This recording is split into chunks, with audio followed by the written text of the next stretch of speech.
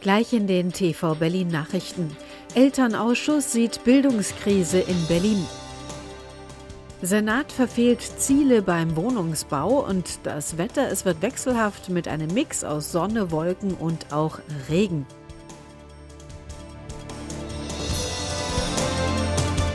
Und damit hallo und herzlich willkommen zu den TV Berlin Nachrichten am Montag, den 5. August 2019. Zum Start des neuen Schuljahres in Berlin übt der Landeselternausschuss Kritik an SPD-Bildungssenatorin Sandra Scheres. Berlin stecke mitten in einer schulischen Bildungskrise und sie nehme nicht wahr, dass hier entschieden genug gegengesteuert werde, erklärte der Vorsitzende der Elternvertretung Norman Heise am Montag. Er verwies auf das wiederholt schlechte Abschneiden Berliner Drittklässler bei Vergleichstests in Lesen, Schreiben und Rechnen, viel Unterrichtsausfall sowie die bundesweit höchste Quote von Schulabgängern ohne Abschluss, zuletzt 11,7 Prozent. All das mache rasches Handeln nötig statt permanentes Schönreden. Scheres verspreche seit Jahren Verbesserungen, es tue sich aber nichts. Die Senatorin habe bei diesen Themen für sie ihre Glaubwürdigkeit verloren, so Heise. Heise forderte Scheres auf, einen Krisengipfel einzuberufen, um über Ursachen und Lösungen für die Probleme bei der Bildung zu beraten. Bildungsverwaltung, Politik, Hochschulen, Gewerkschaften, Lehrerverbände, Vertreter des pädagogischen Personals, Landesschüler- und Landeselternausschuss gehörten an einen Tisch. Notfalls müsse der regierende Bürgermeister Michael Müller das Thema zur Chefsache machen, forderte forderte Heise. Die aktuellen Entlastungen für Familien beim Schülerticket, beim Schulmittagsessen und bei den Hortkosten in der ersten und zweiten Klasse seien sozialpolitische Maßnahmen, die der Elternausschuss begrüße, ergänzte Heise. Sie hätten aber keinen bzw. kaum Einfluss auf gute und bessere Bildung. Der rot-rot-grüne Senat kann nach Informationen der Berliner Morgenpost seine Ziele beim Wohnungsbau nicht erreichen. Neben den privaten Bauherren bleiben auch die landeseigenen Wohnungsunternehmen hinter den politischen Vorgaben zurück. Das geht aus einem Bericht hervor, den Stadtentwicklungssenatorin Katrin Lomscher am Dienstag im Senat vorstellen will und der der Berliner Morgenpost exklusiv vorliegt. Demnach unterschreitet Berlin die selbstgesteckte Marke deutlich, bis zum Jahr 2021 30.000 neue Wohnungen im Landesbesitz zu schaffen. Lomscher rechnet damit, dass die landeseigenen Gesellschaften bis zum Ende der Legislaturperiode 2021 lediglich gut 26.000 neue Wohnungen errichten werden. Diese Zahl wird allerdings nur erreicht, wenn es gelingt, 2021 mit 10.000 doppelt so viele Wohnungen fertigzustellen wie in den Vorjahren. Trotz eines breiten politischen Konsenses will die Bundesregierung nicht vor September über eine Senkung der Mehrwertsteuer für Bahntickets im Fernverkehr entscheiden. Die Regierung begrüße alle Vorschläge, wie der Klimaschutz vorangebracht werden könne.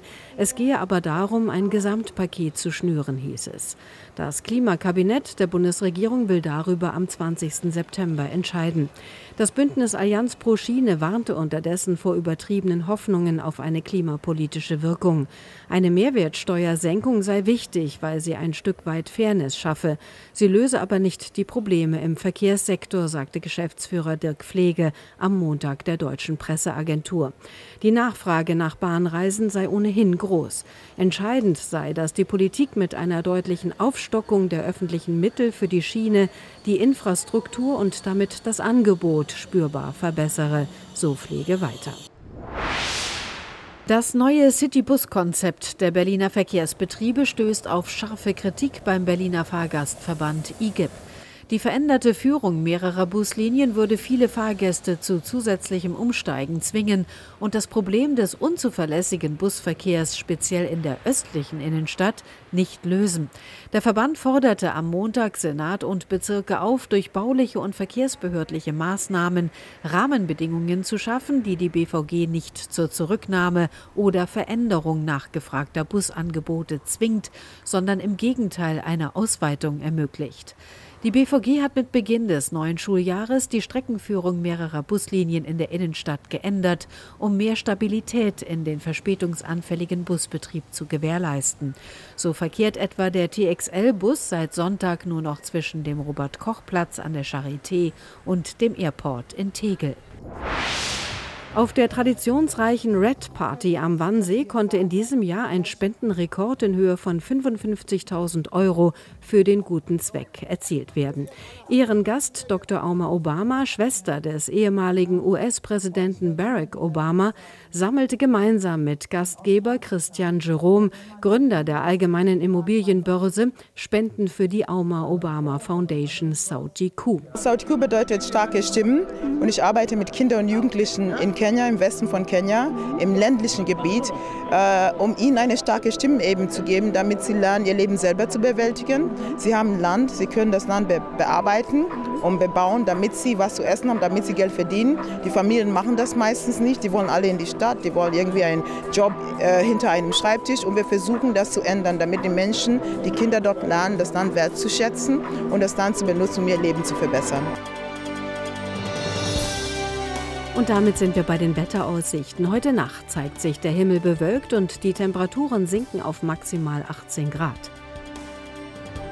Der Dienstag startet noch mit viel Sonne. Im Laufe des Tages nimmt dann aber die Bewölkung immer mehr zu und am Abend kann es auch vereinzelt regnen.